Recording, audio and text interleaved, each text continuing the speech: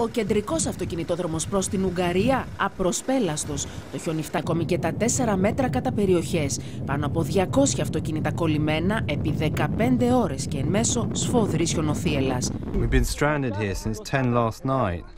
And we've been waiting until now. We've got no food. We've eaten all the food we brought from Vienna. Οι ενισχύσεις φτάνουν από αέρο. Στους άνδρες της διάσωσης συνδράμει και ο αντιπρόεδρος της κυβέρνησης, ο οποίος προσπαθεί με τα βίας να μεταφέρει ένα μικρό αγόρι στα χέρια. Για πάνω από χίλιους ανθρώπους η κατάληξη ήταν αίσια. I beg the people in Vojvodina not to go out, not to travel by this highway, not to cause any more problems. The police and the army have blocked the road now. Ο χειμώνα άργησε, όμως έφτασε σφοδρό στη Σερβία. Ισχυρές χιονοπτώσεις και θυελώδεις άνεμοι που φτάνουν τα 150 χιλιόμετρα την ώρα έχουν προκαλέσει παράλυση στις συγκοινωνίες. Το σοβαρότερο κύμα χιονόπτωση σε διάστημα δύο δεκαετιών ζει η Αυστρία.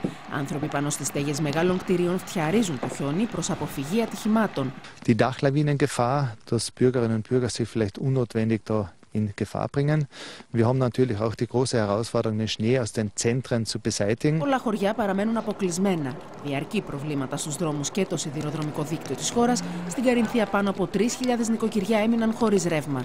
Οι αρχές έχουν εκδώσει προειδοποιήσει για αυξημένο κίνδυνο χιονοστιβάδων. Ήδη η χώρα μετρά δύο νεκρούς.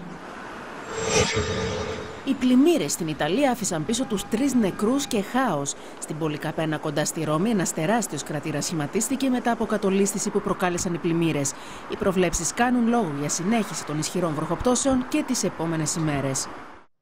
Κυρίες και κύριοι, τουλάχιστον 16 άνθρωποι έχασαν τη ζωή τους μετά από έκρηξη ηφαιστείου